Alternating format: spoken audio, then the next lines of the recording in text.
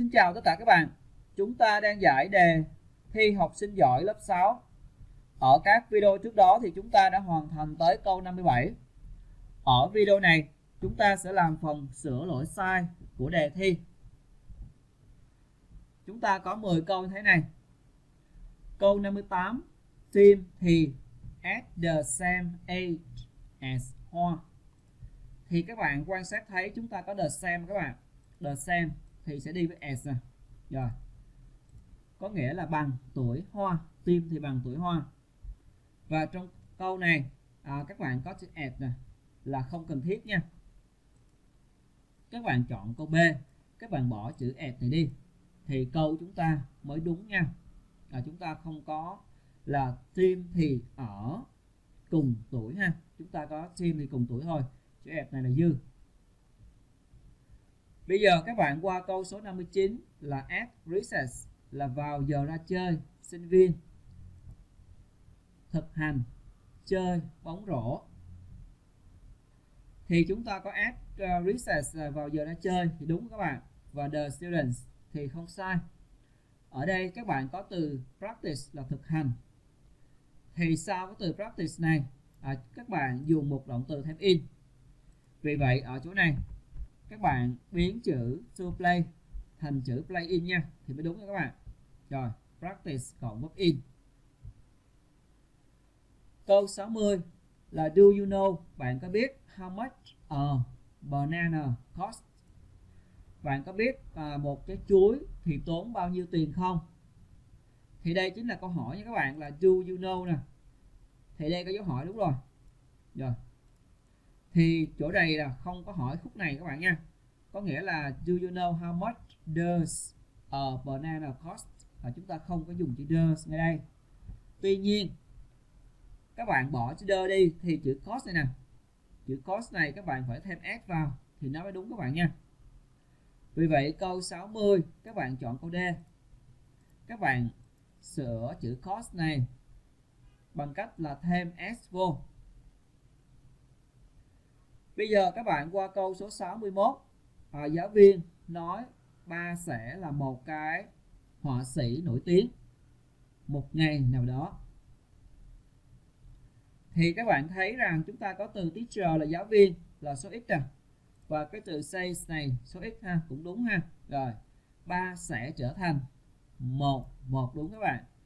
Họa sĩ nổi tiếng. Ở đây là f nè đây là o à, danh từ artist cần chữ mẫu từ ờ để bổ nghĩa cho nó. Thì chúng ta thấy là in one day trong một ngày là không có đúng các bạn nha. Sai ở chỗ là chữ in đây nè. Nghĩa của chúng ta là một ngày nào đó chứ không phải là trong một ngày. Vì vậy các bạn chọn câu D. Rồi các bạn chọn câu D. Các bạn bỏ chữ in này đi. Bởi vì theo nghĩa của câu của chúng ta là một ngày nào đó. Bây giờ các bạn qua câu số 62 một vài đứa trẻ đang chơi bắn bi ở sân trường. Vào giờ ra chơi. Rồi ở sân trường vào giờ ra chơi. Thì some boys là a play in là đúng rồi các bạn.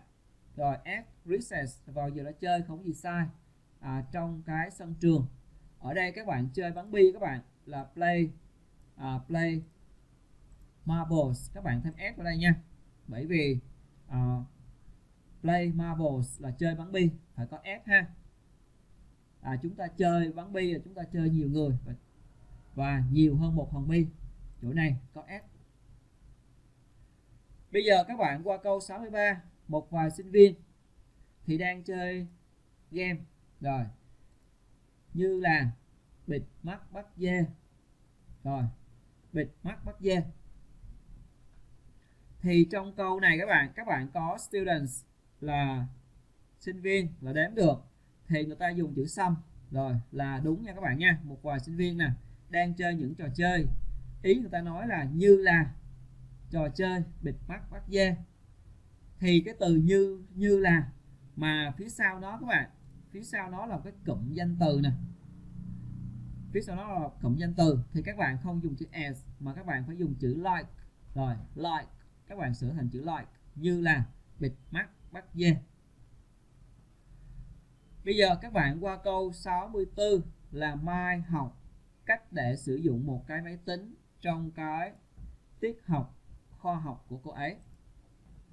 Rồi, Mai là số x cho các bạn, lên sang S nè, cách để sử dụng một cái máy tính trong cái lớp học khoa học. Thì các bạn lưu ý là các bạn có cái tiết học khoa học các bạn, môn khoa học á, thì chúng ta có từ science class nha các bạn, science class. Rồi, chứ không phải là scientific class. Các bạn chọn câu D.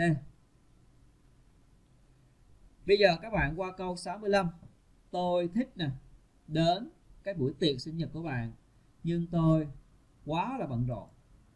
Rồi, các bạn có từ much uh, to rồi mất này để nhấn mạnh cho cái tính từ này các bạn. Quá là bận rộn. Thì trong câu này uh, các bạn có I I would chữ the này là các bạn là viết tắt của từ would ha. I love uh, to come. Rồi các bạn chọn I would love to verb nha. Để mà đến. Tôi thích để mà đến chứ không phải là tôi thích cái việc đến nha. Rồi tôi thích để đến cái bữa tiệc sinh nhật của bạn. Nhưng tôi quá là bận rộn. Rồi, các bạn sửa câu A này thành to come. Bây giờ các bạn qua câu số 66 rồi các bạn. Rồi, các bạn qua câu số 66 rồi, có x nè, cái chương trình TV cho những đứa, những học sinh tuổi teen rồi hơn là có cái chương trình cho người lớn. Thì trong câu này các bạn các bạn quan sát thấy có từ đen nè. Rồi có nghĩa là so sánh hơn. Ở đây less là less than là so sánh hơn.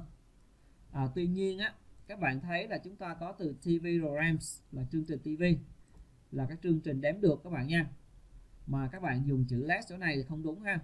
Các bạn sửa chữ less thành chữ fewer. Rồi bởi vì cái chương trình TV chúng ta đếm được nên các bạn dùng chữ fewer chứ không dùng chữ less nha. Hai chữ này ngược nhau. Câu 67 người ta đang sống lâu hơn. Vậy vậy, có more and more, nhiều, ngày càng ngày nhiều, người già hơn. Rồi, ở đây người ta đang sống lâu hơn. Là cái thì hiện tại tiếp diễn các bạn, diễn tả một cái sự việc đang xảy ra rồi cái này không sai nha.